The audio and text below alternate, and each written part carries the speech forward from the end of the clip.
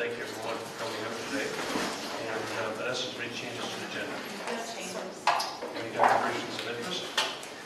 Seeing none. Approval of the minutes of January the 22nd are before you. Any questions or concerns? If not, a motion to approve them. Moved by David, second by David. You just had to do that, right? David squared. Yeah, get that, that in there. Uh, All in favor? Carrie, Opposed? Motion carries. Um, There are no delegation requests that I'm aware of, and no presentations. So we're going to go on first to 6.1, which is an amendment to the limitation period for complaints made under the Integrity Commission's report. And there is a staff report in front of you. Um, Any uh, questions or comments?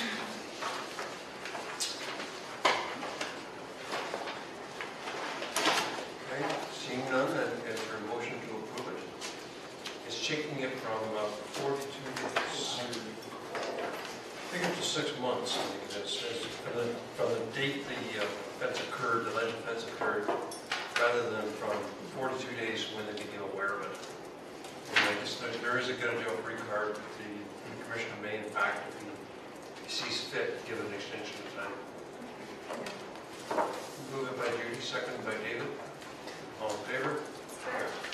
Okay, let's move on to six point two now, and there's a report before us. I assume, Lisa, you prepared this, Holland Rose. Uh, It's, uh, it looks like a legal report to me, but it's answered the directions that were given to staff at our last meeting, which is uh, some around, uh, there is some timelines, that, first of all, on page three, that uh, Rose and Lisa are uh, uh, proposing to get this before council.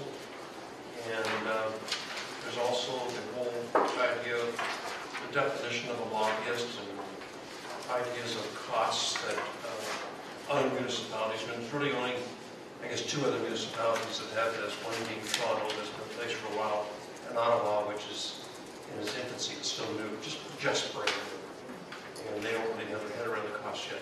Uh, Judy? Uh, Yes, Mr. Chairman, thank you. Um, I I was under the impression that we were going to have some sort of a presentation from our last meeting. I don't know if everybody else was was under that as well, but it- is it just a, just to clarify, is it a verbal presentation? It's not a or- presentation, it's a report. Uh, Right. the No, I committee asked for a understand report that, back, yeah. So there is no presentation for today. Okay, all It's, right. it's just, they answered our questions, uh, so the And I'm- timeline, information on the costs, and, uh, you know, a description of what a lobbyist is. Is there anything else, Lisa or Janice, that you'd like to add to this? Would you like a little bit of explanation around it? Yeah, if I, if I could, there, there's, there's a lot of interest in this topic, and I think certainly for, for the, uh, the folks who are viewing this meeting by live stream, it would be helpful to have some sort of an explanation. They don't have this information report in front of them, and I, I just, Mr. Chair, I just think it's really important that we cover off the information, uh, you know, rather than just moving, moving uh, through with some questions and, and uh, okaying and proceeding. And just for the benefits of the committee, those who don't know, we're on a first name basis today. Janice is our new city solicitor. So Congratulations. Thank you very She's much. uh, got a big job here in the city. And uh, uh, Lisa, who is also a lawyer with the city, and they're putting this report together along with their city clerk. So, uh, Janice, do you want to do the overview, or you want Lisa to do it, or or Um, Rose? or- Mr. Price, if you like. Lisa and Rose really put this together, I mean, I'm just uh, coattailing to this, so. Okay, you want to go first, Rose? Sure, part you or do? do you want to do it in sequence on how we? It's your call, go ahead, That would be helpful. go ahead. Okay, Mr. Chair, um, the con- subcommittee asked for a a timeline. What's before you is one that's uh, an illustration, it's, it's- it's uh, to give you some, some idea of what the stages are in terms of the, um, the process.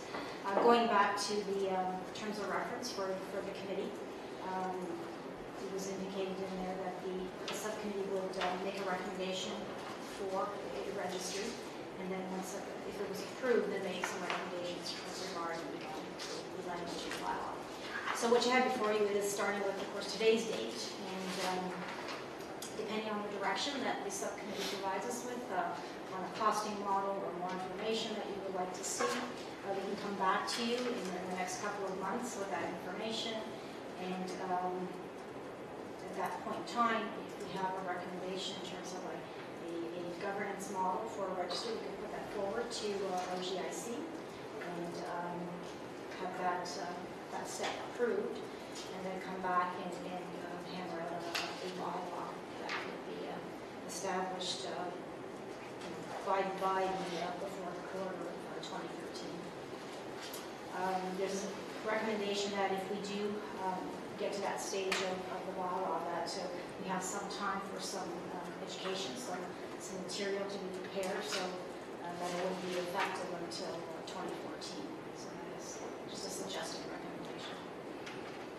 I also prepared um, a piece about the, the uh, cost of the software.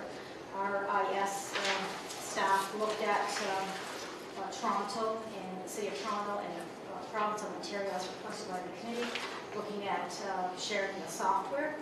Um, The staff are opinion that the software that's out there, they could, uh, they actually have something uh, in-house that they could work with, but depending again on what uh, council approves in terms of the registry, we could look at something that we already have in application. Uh, The province's um, software in particular, it's, it's rather old, it's from 1999. They're actually looking at uh, new software, so there's no sense sharing anything there. Um, And then there's the summary, excuse me, the summary about uh, Toronto, the province, and Ottawa in terms of some of the costs. I mean, they're, they're all sort of different models, so there's different information uh, from each of those that uh, is presented for your information. Now, Lisa? The, the fourth item, the executive summary, what was done was taken from the summaries that the three jurisdictions provide themselves, a little rearranging to put them all in a matrix where they could actually be compared. Uh, Centered around six questions. Who is a lobbyist, who is not a lobbyist, what is lobbying, what is not lobbying, who enforces the lobbyist registry, and what are the penalties. So the key really key points that would form the basis for a bylaw. So those are in the appendix. And um, uh, are, as I said, in the language the the jurisdictions themselves provide to describe. And then there's just a short summary part that uh, we've added on. By and large, these are very similar, but I tried to hit on where they're different. There is a difference in um, how concise or how long the bylaws are. Uh, Ottawa's is definitely the most streamlined, gets to the point fastest, and does it in a very, they clearly turn their minds to doing that. Um, Toronto's is longer and the province is longer. Still, they're still doing much the same things, but how they go about it is uh, more, uh, requires more words to do it. Um, uh, The um, Ottawa, unlike Toronto, has combined the integrity commissioner and the lobbyist registrar position, and that's a big difference in the model that is, is going on. Um, It's brand new in Ottawa, so it's difficult to tell how that works out over time. It's impossible at this point in time. And um, I've just added in, they've also, their um, uh, integrity commissioner, the lobbyist register in Ottawa is also their close meeting investigator, so they're joining several functions together there, which is not what's- what occurs in Toronto.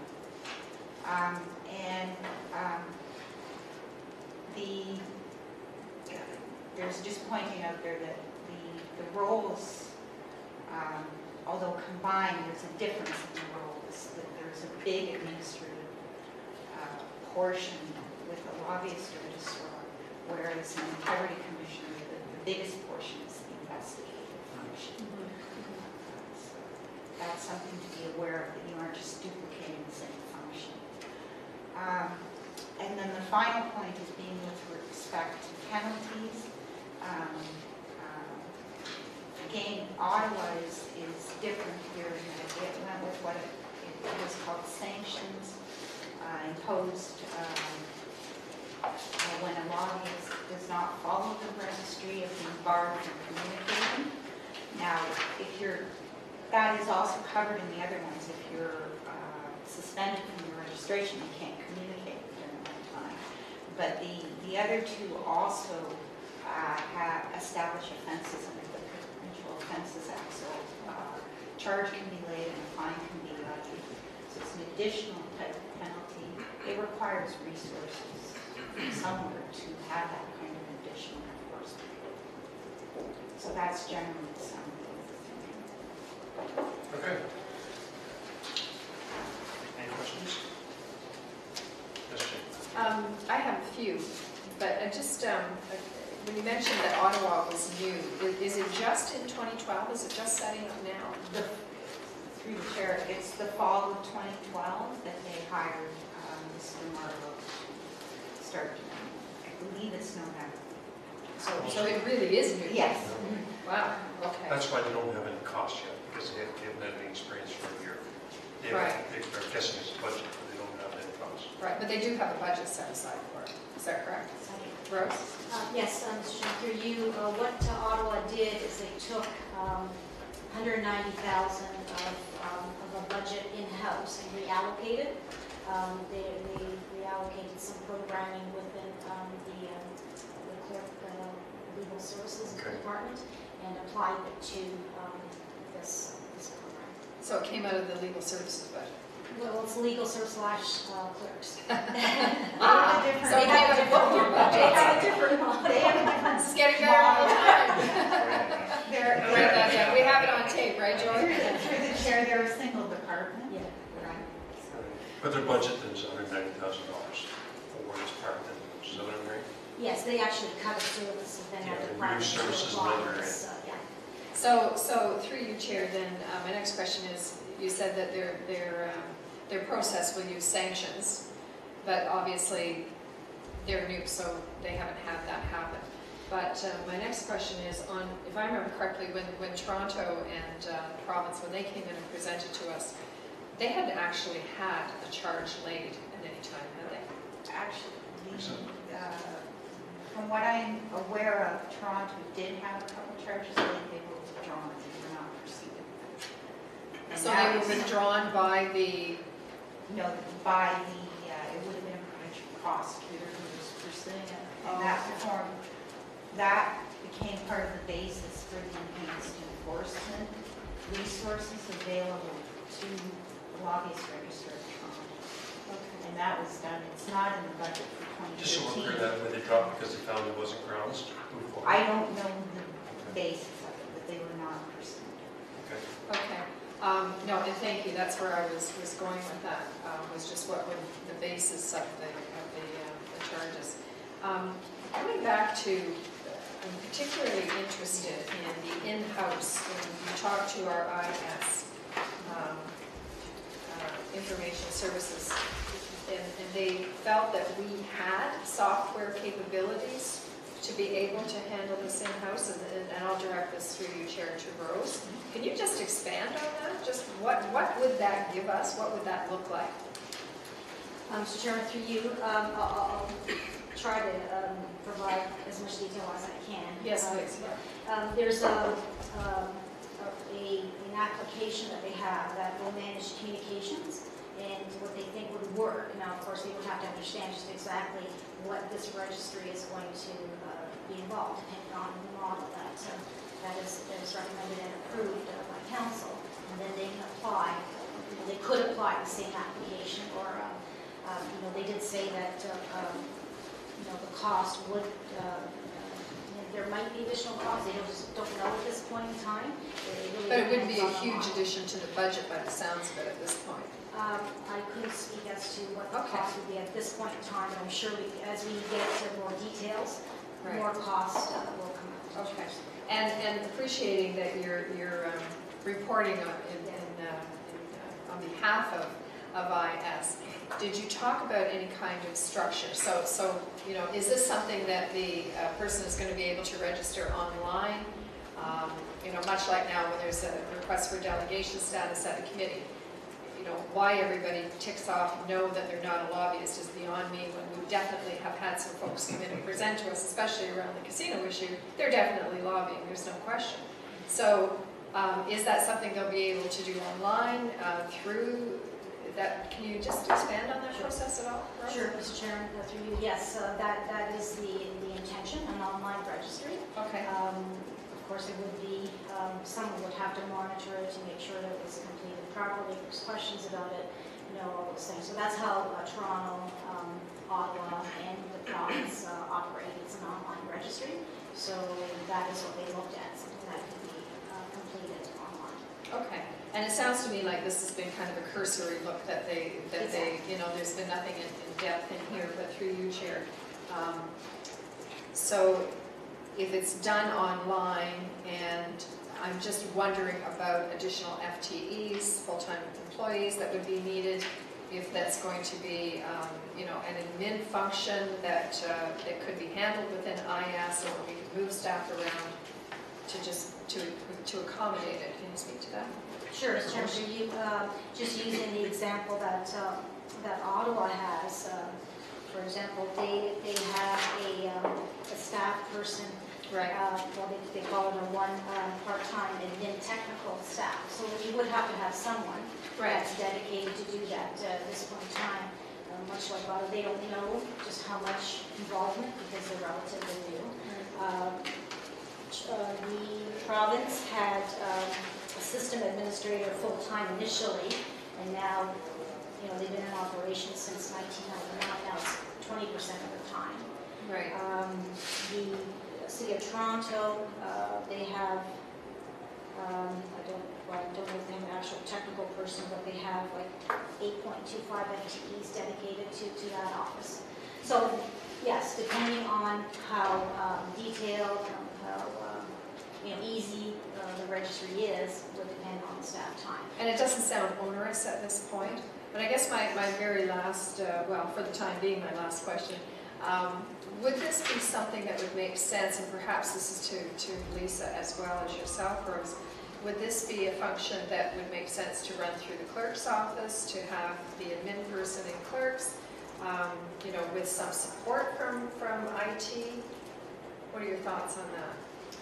I'm sharing through you, um, it would certainly, we would have to look at it because as you know, we're pretty lean in the, in the clerk's office in terms of staffing. Exactly. Uh, So depending on the model that um, we recommend, um, I hope you would give us the opportunity to review that with our existing staff. And we may have to come forward and ask for, you know, existing staff or whether it's, you know, can be absorbed internally. I can't speak for the IS uh, division, whether they have staff that they could allocate to this.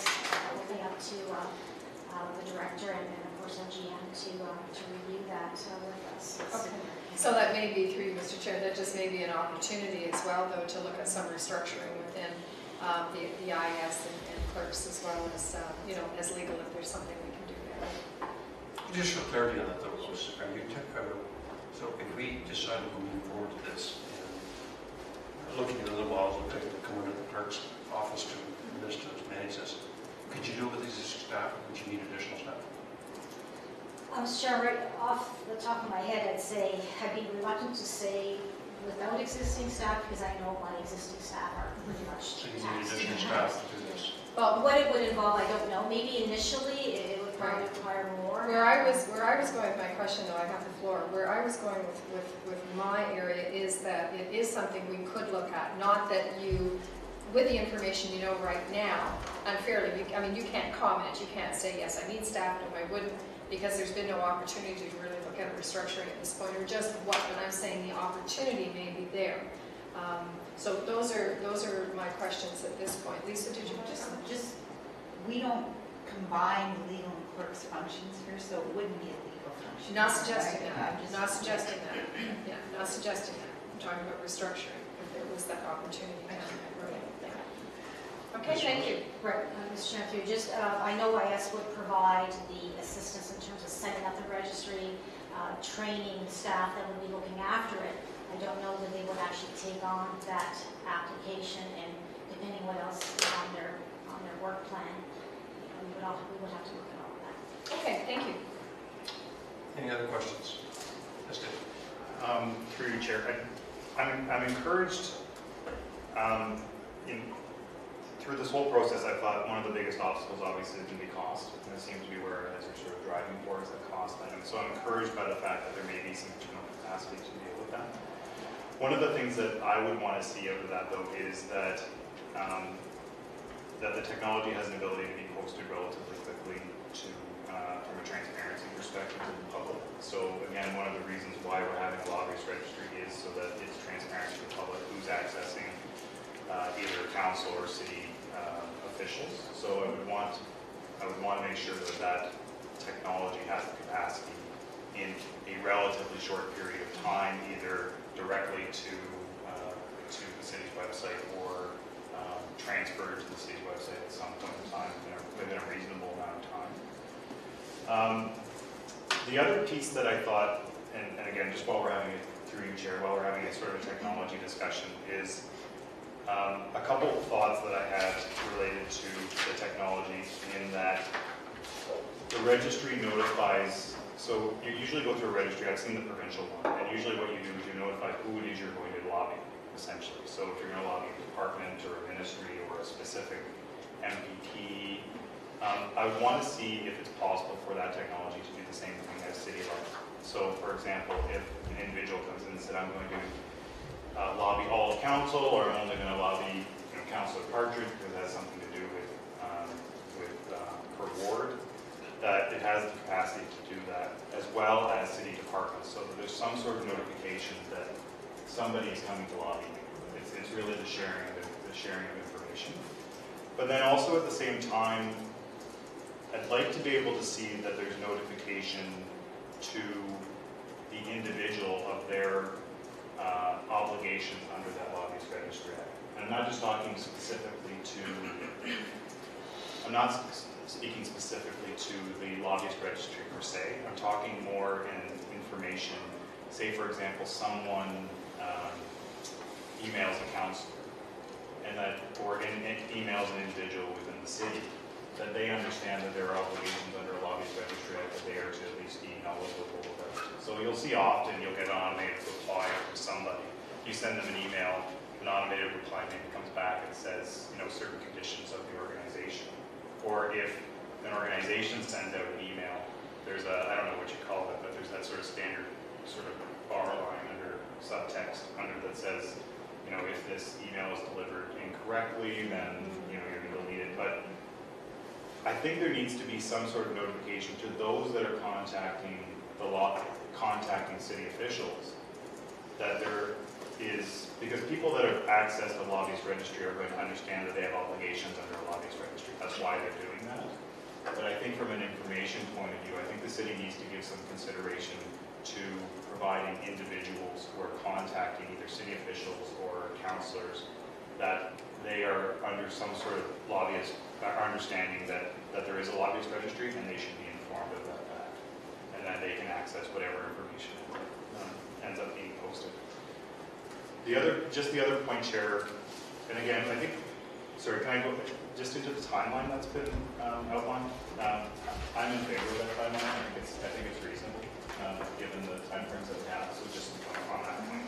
What I want, what I, what I'd like to see, and- and you guys and staff can tell me whether or not this is uh, your intention, but it would be my expectation, I think this is built on, on Councillor Partridge's sort of earlier comment around expectations for this meeting, is that there are decision points being brought forward for us to make a decision on. So while there's lots of options here, and I think we can have a, a very long discussion about each and like what a lobbyist is and all those decision points, I think we would, my preference would be a recommendation from staff on a lobbyist registry and a definition, and all of the components are brought forward Um, You know, we have all the information here that we can go on, but recommendation from staff on how it is we're going to move forward so that we actually make- have decision points as opposed to debating each one of these individual pieces today.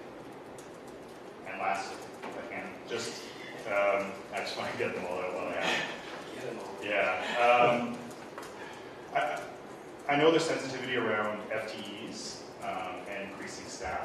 I think if there is an option around moving forward with uh, a, um, a hybrid integrity commissioner lobbyist registry, then maybe that's a solution outside of, um, outside the city, particular city uh, staffing components. So perhaps there's an ability to working within the contract of, Mr. Basse is the one that ends up being that individual, of providing him some additional resources to be able to hire a part-time staff to deal with that, uh, to deal with the registry and the administration component of the registry.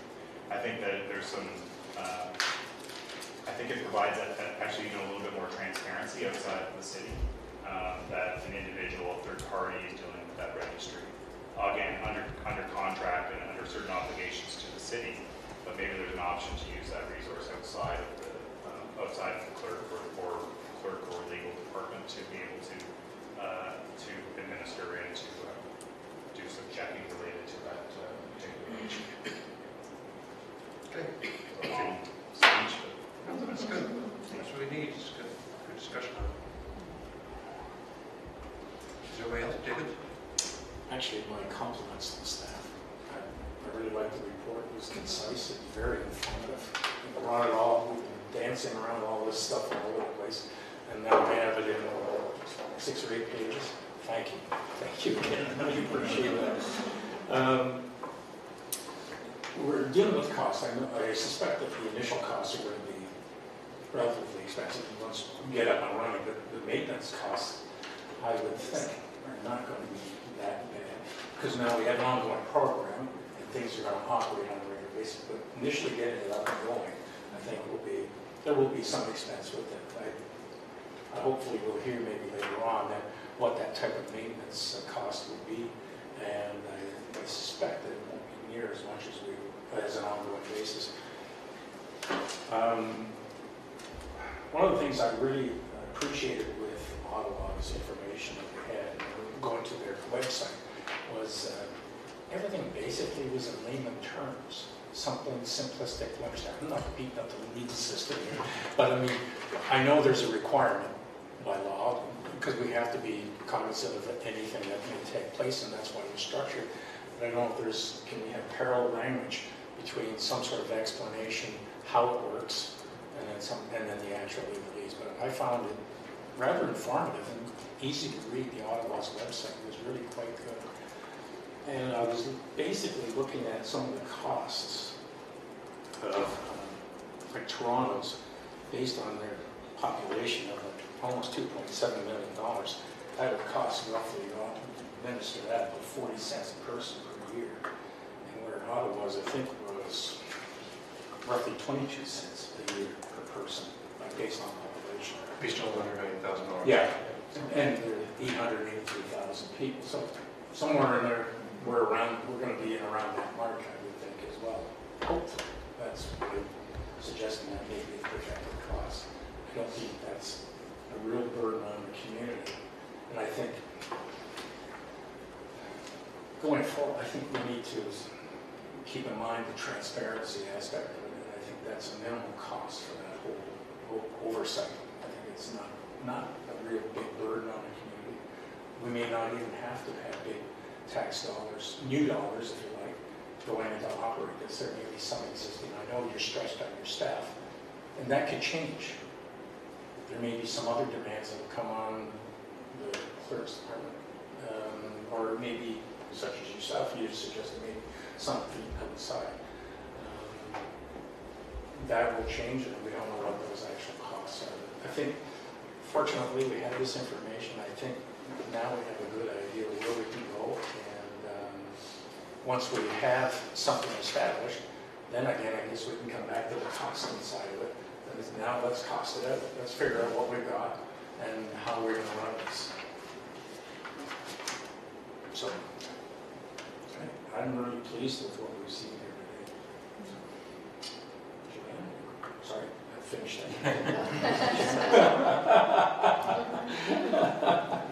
Have a face off very nice. Any other comments or questions? Just a, a few clarifications if I can. Um, I think we do need to have a number. You've gotta give us a cost, because we get to council, there'll be obviously a question will get asked. And, uh, and get the mics off today, we are hoping to have Mike here today to talk about that. And the next meeting, we need a report, make the best shot, like you always do for all the other programs, is, is a cost. We need a number of us. And, uh, you know, I'm, I'm seeing that Toronto is, um,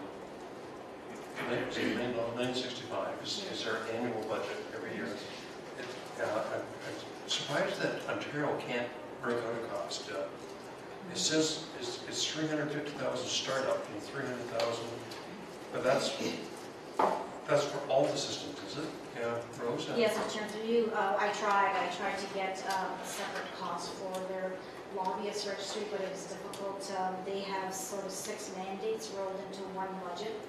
Um, Their six mandates are the lobbyist registry act, the members integrity act, the cabinet ministers and opposition leaders expense review and accountability act, the ethical conduct and political activity ministers staff, disclosure of wrongdoing under the Public Service Ontario Act and Public Sector Expense Review Act. So they have all that rolled into one.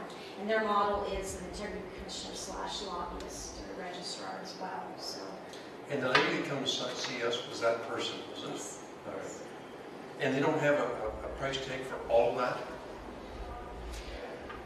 No, uh, all I could get was, um, you know, that uh, 350,000 startup in in 1999. Um, They do um, have 13 staff in that office to do all those six mandates. Thirteen staff? But yeah, that's to do all those six mandates. The one full-time staff is this inquiry officer, that's listed here. That, Okay. that's dedicated to the lobbyist registry.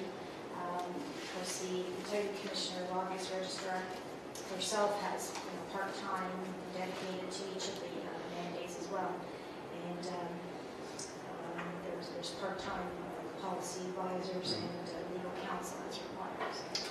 And Ottawa, the best guess right now, it's in, it's, it's, they- they've taken their best shot, that's a hundred ninety grand.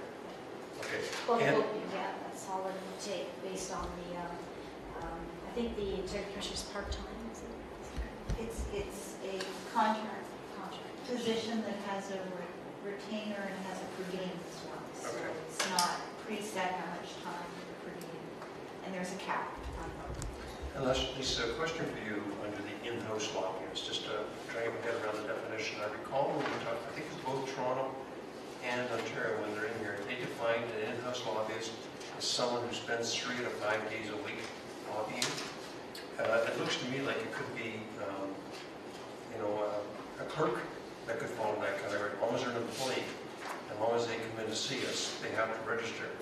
Um, Can you help Sorry, me I with that def- to. This is on page seven of eight. Yes. Ottawa and Toronto, definition of in-house lobbyist.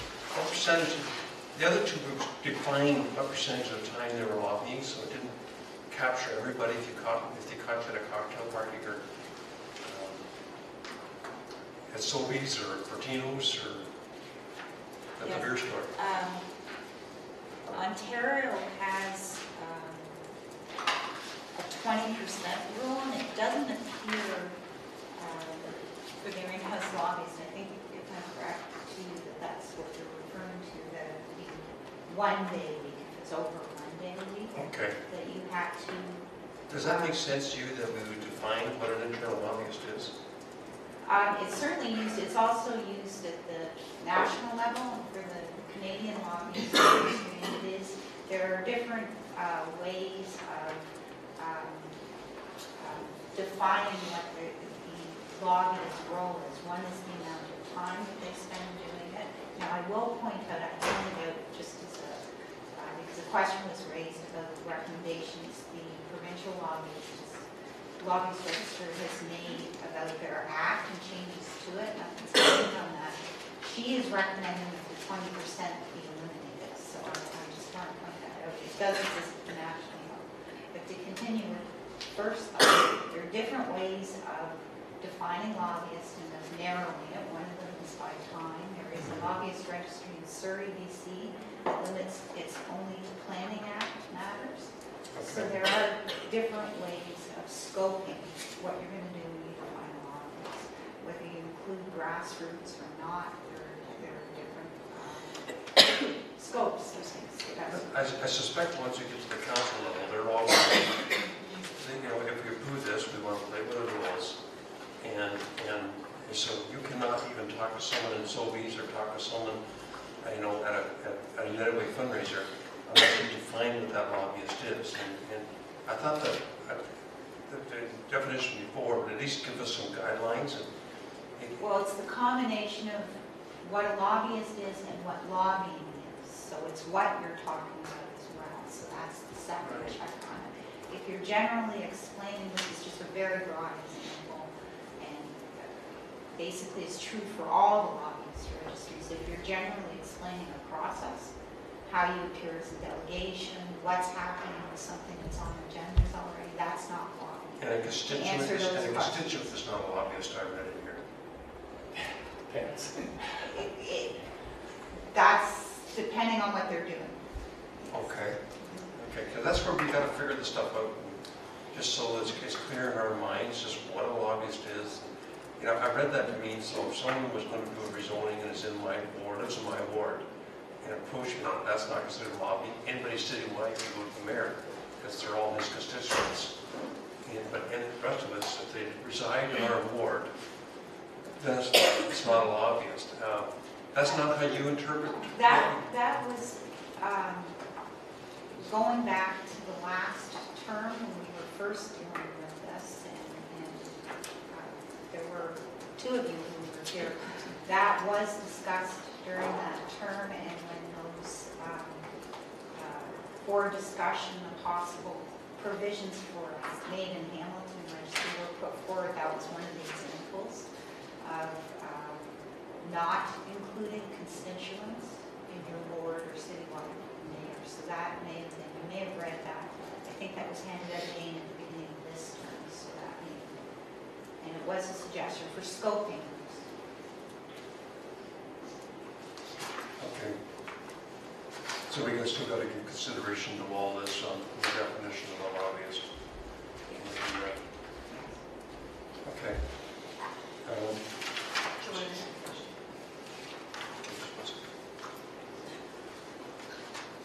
Well, on the timeline, Rose, I would, you know, in my experience, when we take uh, council-initiated changes to uh, at GSE, it'll get referred to the budget. So I suspect of the timeline will be our referral to the 2014 budget. Does that make sense to you? You, Mr. Chairman, I- it's possible, depending on what the committee wants to. If it's going to be an annualized cost, that's traditionally what we do, and we're going to layer on an enhancement that would get referred to the budget. Uh, Correct, and, uh, especially since if, if the timeline, the bylaw doesn't become effective until 2014, it it could be a logical step. Okay. That's all my questions. Janet? Yes. I tend to think that most people have a sort of a, a basic knowledge of whether they are lobbying for the benefit of making money or whether they're just talking about something that, that has to do with a park at, at the end of the block, which is for public good. Um, I, I also think that a person who lobbies it, it is well aware of whether they're trying to get a councillor to agree with a particular development or whether they're discussing the, the price of cheese. I mean, I, I, I think it's, um, I, don't think it's as complicated as, as it's been made to sound. And, and I think that Ottawa seems to define things pretty well they, they, they put something rather nice on one of the pages, um, which says to improve public's confidence in, in and satisfaction with the way council works, and that seems to me to be the overarching, most important aspect of this. It, it may cost a a bit when when it is being set up, but once it's on the roll, I think it just becomes another part of good government in Hamilton. That's it. That's my opinion. Okay, so I don't see any other speakers. Yes, Mr. Bruce. Chair, sorry, if I could just uh, ask for some, just so I know when we're coming back to some costing models. Um, And it would be helpful if we understand just exactly what you're expecting so that we can apply costs to it that way. I I heard that you would like us to consider um, an in-house, uh, for example, in the clerk's department, uh, if we could um, um, provide staffing to maintain the registry, uh, a registry, correct? But I think, what I heard the committee say is that, and uh, it seems like the right thing is, to stop me from from misinterpreting anything you're saying, is that it we would set up a lobbyist register to be administered by your office. And, and so you have to report back on the cost of doing that. Second part of it is the, is the IT side, because they have to develop the software and then maintain it also. And then the thirdly, if we're going to have an investigative part, and I don't think we've made a decision on that yet, but uh, if we're going to have an investigative part, is it going to be with the integrity commission? If it is, what's the projected cost of that? Uh, And then layer those together and count, because we're going to need a number when we get before council. Um, Mr. Chair, uh, the other model that I thought that uh, was discussed was having the integrity commissioner take it over and it be contracted out, so that would be separate from staff. So I would consider those two different types of I think, I think we need to assume that you'll be administrating. Everyone, you'll be administrating, the secretary. And, and, and that uh, maybe an investigative part would be over to Earl Basse or whoever his successor is. Um, Yes, Mr. Chair, and- but I think what, uh, uh, to follow up on David's point, we're looking for, for staff to, to bring recommendations back to us. So it may be a couple of different options, but what we're looking at here and, and what staff have put together is, is pretty much what you had just talked about and captured by, by the chair. But he's absolutely right, we need a figure. You know, when we get in front of council, they're gonna say, how much is this gonna cost? To set it up, and how much is it gonna cost to maintain it? You know, and, and so if we're looking at this for January 2014, does it go into the capital budget discussions that are in the fall time? Um, Or, you know, are we going to put it off into the uh, operations budget discussions, which are going to be April 2014? Then we're into an election, and it's gonna be another year, and, you know, I, I just, I just have some, I don't want to say frustration, but I'm a little bit concerned about this just being pushed forward, pushed forward, then it gets to council, then it gets referred back, and we get into that tailspin that we're dealing with. And uh, I'd, I'd like to have recommendations as tight as possible. You know, we have some good examples here, I think with Ottawa. We may need to just change it a little bit to, uh, to accommodate our needs here in Hamilton. But um, I, I don't think it's that difficult to put it together, so I think it's really important, though, that staff come back with a recommendation, whatever that looks like. David? Um, through you, Chair, I, I'm just not sure we can assume, I don't think we can assume anything. I think, I think to, to Councilor Partridge's point, I think we're gonna, I, I would prefer to have staff recommendations come forward, whether it's, whether it's the model that they are administering, whether it's, I, actually see a great deal of benefit to, um, the integrity commissioner lobbyist registry role, not only from, you know, if there is a possible enforcement me- mechanism there, but also from an information point of view. It's the same thing with an integrity commissioner. If, if someone's looking for information, you know, a lobbyist or even a, a, you know, regular citizen that says, wants some information related to whether or not they should be considered a lobbyist, is that something, you know, is that something the clerk's office would want to do? My guess would probably be no. They probably prefer, uh, you know, s- uh, an outside person or some other mechanism to provide that information for them and provide advice. Same with counselors. If, if someone's approaching a counselor and the counselor feels uncomfortable and says, you know, this person is, is lobbying me, but they're not lobbying on the registry, can you give me some advice on how I might be able to deal with that? So I actually see a great deal of benefit to there actually being an external individual that deals with those, that inquiry piece. But just to circle back, I don't think we can assume uh, anything at this point. I think there should be, you know, we have expertise, um, or you have expertise on the city level that can provide information back with, with options, and I agree with Councilor Partridge, I think those options should be relatively tight and, and well, well um, argued. But, um, I don't think we can discount anything. I think all the information is here. It's a matter of putting that together in something concise for us to be able to make a decision that can go to council.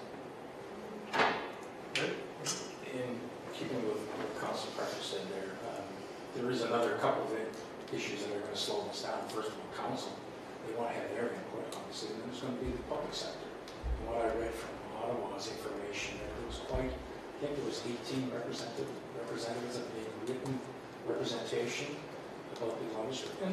because that impacts on how they do business, right? So there's going to be quite a bit of pushback. So it's going to consume a lot of time. So I think in the interim, we still got to keep going, what we keep doing what we're doing, because knowing full well, it's going to come back to us again. I can assume it's going to come back because there's going to be things that somebody else sees in their eyes that we didn't take into account. So then we can deal with that and we either, either we deal with it or we discount it, but at least gives us an opportunity. But it's, what I'm suggesting to you is that let's keep doing what we're doing now. I think we have three really good lobbyist registries we can glean information from, and maybe we can develop something in-house from that. And I'd like to see us develop a code of conduct in relation to that, so that we can still be manufacturing some sort of either the legislation, the draft bylaws for both. We can start putting that all together. In the interim, we're still going to look. And we can start putting that all together. I'm not saying that's going to be for naught. I think that's productive time. And then staff and legal could start putting that all together. They could come back to us with that. Because I think sometime in the fall, eventually, once we got all this, got our head around all this, there goes the council, and then it's going to go to the public sector. And now we're going to, now we're going to get everything back from them. We're going to hear what they have to say. And hopefully by then, we take our recommendations after gleaning all that information, we'll take it back to council and hopefully they're for their approval. So, Yeah, and, and, you know, Judy's my job, and and Bob and Terry's in here, is to anticipate what they're gonna ask. oh, of course. That's what I'm, why I'm asking these questions. No, I agree with you. Not that I'm trying to be negative, I'm just trying to anticipate their questions, so we can be prepared when we get there. Exactly. Technically, as a chair, I've got to do that, because I'm the one with the finger on my chest. And, and, I'll just say talk to him. so I don't want you to think I'm sounding negative on this, I'm No. anticipating where they're gonna come from, and I'm trying to ask those questions, so I have clarity when I get in there and have to defend it. You gotta have the answers. Absolutely. Yeah, I think we agree. So I'm- I'm just hoping that we can still produce this, still keep going. Um, We've already had one draft of the registry bylaw. I'd like to see, maybe there's something now, we- because we have Ottawas, we have Toronto's, and we have Provinces, maybe we can start gleaning something from that. Maybe that makes it work better. And um, then I think there should be an associated code of conduct with that. So there's two components. And if I can give you any advice, what to expect when you get before council, they're going to see the integrity commissioner as an example. There was something that was set up by this committee in trying to do the right thing. But every one that's been filed with integrity commissioner, the exception of one, were found to be basis to it and even vexatious if you will. Which means there's some individuals out there that will use this to advance their own agendas. And, and, and that's what council's gonna have their antenna up. How can it be abused? And, and, uh, so I'm gonna be watching for that too, because that's what I'll bump into when I get in there. Well, The answer to that is, I lived that for 30 years. I mean, you did. We're at my- it was So you can involved- help us with that then. Yeah, How so- how do we make sure this Sure. is used for what it's intended to be used, not for someone to abuse it? Uh, That's and there's, those, that's what the whole investigating process is, and that's why we had Mr. Massey to do that. And because he's arm's length, and which is great, it's just like the SIU for the police, it's all arm's length. Yep. They do an independent investigation, they, and they render the findings, and that's it. And I think it's wonderful, I think it's great, and that's what we need, that's why we're here, it's And, and just a cautionary tone to you too, if we do, and- and once, I'm just sharing you the questions I'll probably get asked. I'll, I'll give you an example where you turn to Mr. Bassett for advice. And, and- and I think that was intent, maybe part of that, was if we're not sure, we can call and get advice from him. I posed a question to him on January the third, a very simple question, I thought. I got an answer last Thursday. And, and, and so, in council, things roll along pretty quickly. But he has to go and investigate, and that takes a lot of time. I mean, he sent it out to a third party, and, uh, because we need, we need answers back in two or three days, by the time you go from a committee debate to a council debate. Holy smokes, am I crossing the line here, am I okay on this? But it takes a month and a half. In this case, it was over two months to get, to get a response. Ever thought of asking Mr. Basse to come back to council and explain why? We do, we did. When he comes in with an annual report, we ask him those questions. His answer is, I have to investigate it. And then, I guess, you're caught caught in a quandary. We are. Because And- you're and trying to If you react. think this is the savior for helping us get advice, uh, it, it moves way too slow to do that because the council agenda keeps moving.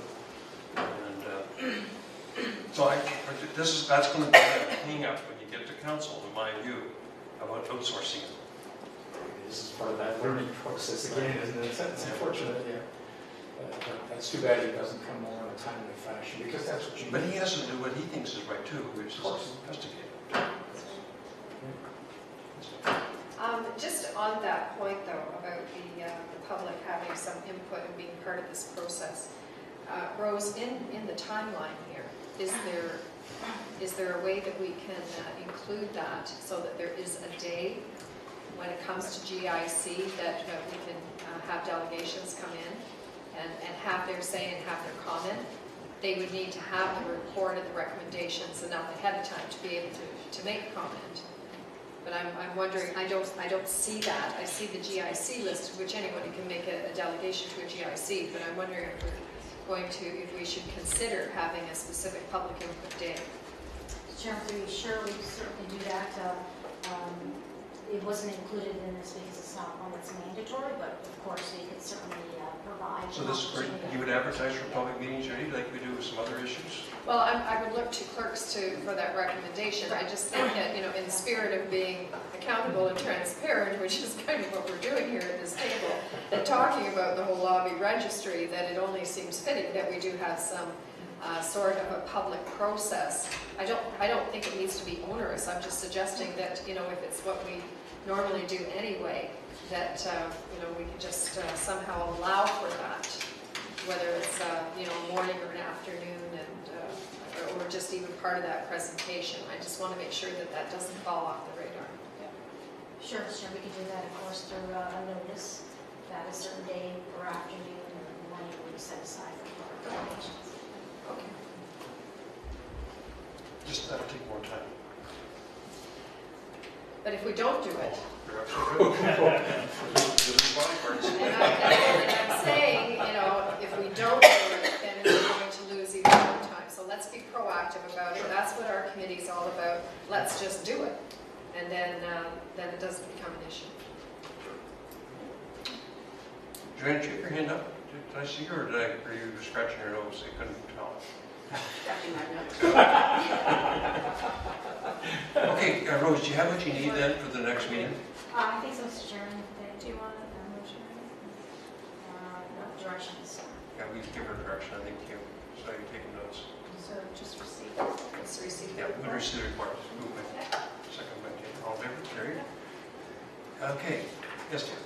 Do we need, uh, what I just spoke about a minute ago, about compiling the information, start working on the draft bylaw for the registry and then and working on the code of conduct? Do we need that in a motion now? Uh, Or direction, or something that we could, uh, maybe we could start putting together? Let's put that question to, to legal staff. Okay.